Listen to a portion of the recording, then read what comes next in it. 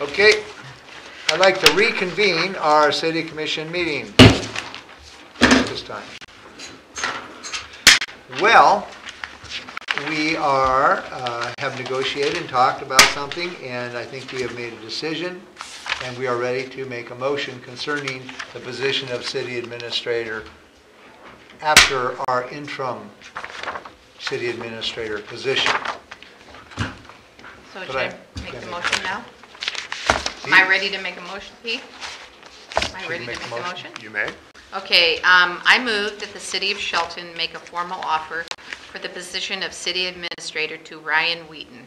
This offer is made based on the recruitment and selection process that was largely cul- largely culminated on Thursday, July 9th.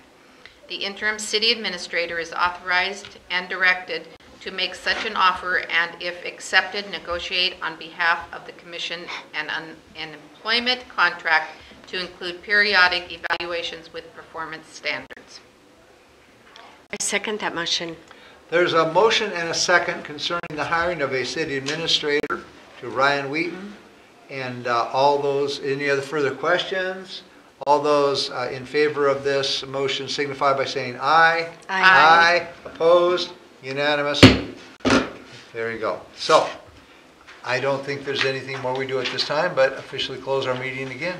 That is correct. All right, so this City of Shelton Commission meeting is closed finally.